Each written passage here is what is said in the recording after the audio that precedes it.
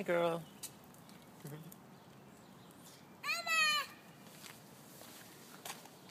It's starting to rain.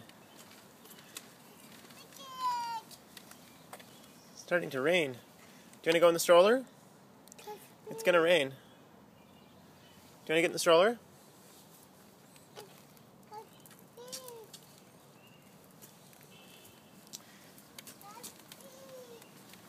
It's raining gently right now.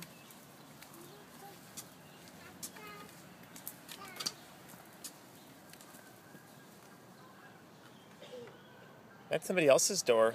We don't live there.